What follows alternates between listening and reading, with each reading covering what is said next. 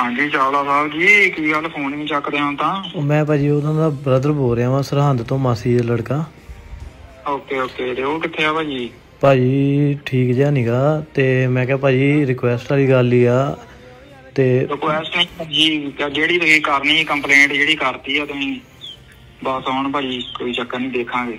ਨਹੀਂ ਨਹੀਂ ਭਾਜੀ ਆਪਾਂ ਇੰਨੇ ਜੋਗੇ ਹੈ ਨਹੀਂਗੇ ਤੁਸੀਂ ਜਿੰਨਾ ਕਹਿ ਰਹੇ ਆ ਨਹੀਂ ਤਾਂ ਆਪਾਂ ਮਿੰਟ ਇੱਕ ਨਹੀਂ ਲਾਉਣਾ ਸੀ ਭਾਜੀ।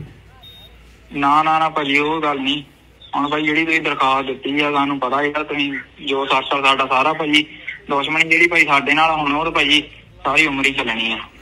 ਨਹੀਂ ਨਹੀਂ ਭਾਜੀ ਆਪਾਂ ਇਹ ਨਹੀਂ ਤੁਹਾਨੂੰ ਕਹਿ ਰਹੇ ਮੈਂ ਇਹ ਕਹਿ ਰਿਹਾ ਕਿ ਆਪਾਂ ਇੰਨੇ ਜੋਗੇ ਹੈ ਹੀ ਨਹੀਂ ਸੀਗੇ ਨਹੀਂ ਤਾਂ ਆਪਾਂ ਭਾਜੀ ਤੁਹਾਨੂੰ ਪਤਾ ਹੀ ਆ ਜੇ ਇੰਨੇ ਜੋਗੇ ਹੁੰਦੇ ਤੇ ਆਪਾਂ ਕਰ ਦੇਣਾ ਸੀ।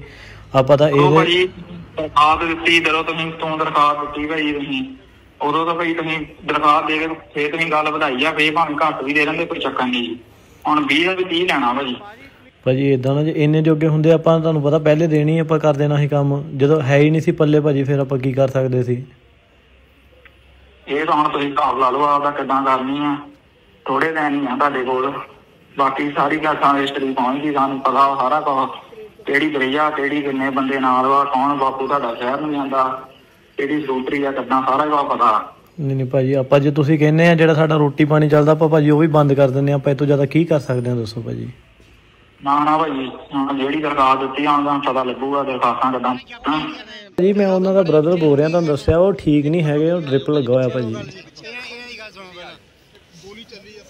ਅੱਛਾ ਕੀ ਨਾ ਹੈ ਜੀ? ਤੇਰਾ ਕੀ ਨਾ ਹੈ? ਉਹਦਾ ਉਹਦਾ ਤਾਂ ਬ੍ਰਦਰ ਹੀ ਹੈ ਨਹੀਂ ਕੋਈ। ਮੈਂ ਭਾਜੀ ਸਰਹੰਦ ਤੋਂ ਬੋਲ ਰਿਹਾ ਜੀ ਉਹਨਾਂ ਦੀ ਮਾਸੀ ਦਾ ਮੁੰਡਾ। ਅੱਛਾ ਬ੍ਰਦਰ ਇੱਕ ਗੱਲ ਹੈ। ਹਾਂਜੀ। ਚਲੋ ਰਿਪੋਰਟ ਕਰਾਉਣੀ ਸੀ ਰਿਪੋਰਟ ਵੀ ਕਰਾ ਕੇ ਦੇਖ ਲਈ ਉਹਨੇ। ਠੀਕ ਹੈ ਨਾ? ਹਾਂਜੀ।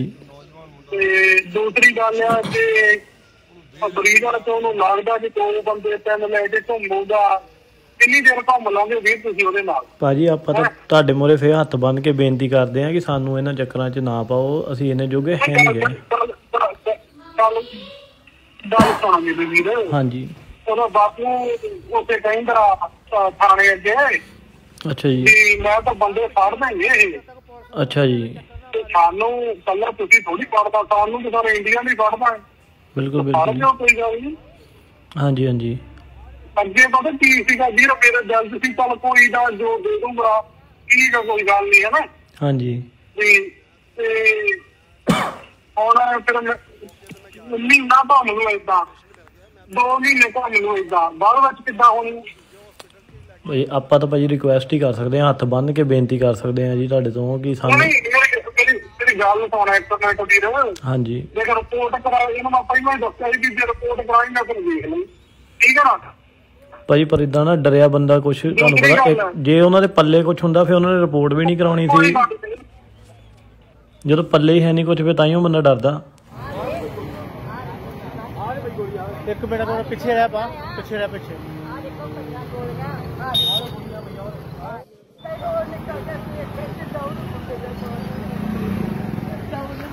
ਭਰਾ, ਪਿੱਛੇ ਹੋ ਜਾਓ ਸਾਰੇ, ਜਦ ਤੱਕ ਪੁਲਿਸ ਨਹੀਂ ਆਉਂਦੀ, ਐਵੇਂ ਚੱਕਰ ਨਾ ਪਾ ਲਿਓ ਤੁਸੀਂ।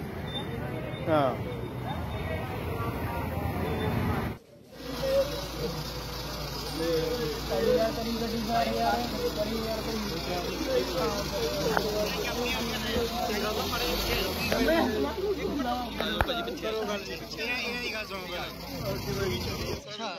ਮੈਂ ਤੁਹਾਨੂੰ ਦੱਸਿਆ ਕਿ ਮੈਂ ਅਜੇ ਮੌਕੇ ਤੇ ਨਹੀਂ ਗਿਆ ਮੌਕੇ ਤੇ ਮੈਂ ਜਾ ਰਿਹਾ ਸੀਗਾ ਜੋ ਰਸਤੇ 'ਚ ਮੈਨੂੰ ਪੇਸ਼ੈਂਟ ਮਿਲ ਗਿਆ। ਮੈਂ ਪੇਸ਼ੈਂਟ ਦੇ ਨਾਲ ਹਸਪੀਟਲ ਆ ਗਿਆ। ਹਸਪੀਟਲ ਤੋਂ ਦੂਜੇ ਹਸਪੀਟਲ 'ਚ ਲੈ ਗਏ ਆ ਉਹਨੂੰ ਮੈਂ ਉੱਥੇ ਜਾ ਕੇ ਮੂਵ ਕਰਨ ਲੱਗਾ।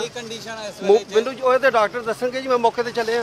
ਇਹ ਦੂ- ਇੱਕ ਹਸਪੀਟਲ ਤੋਂ ਦੂਜੇ ਹਸਪੀਟਲ 'ਚ ਇੱਕ ਸਾਡਾ ਗਨਮੈਨ ਇੱਕ ਭੁਪਿੰਦਰ ਸਿੰਘ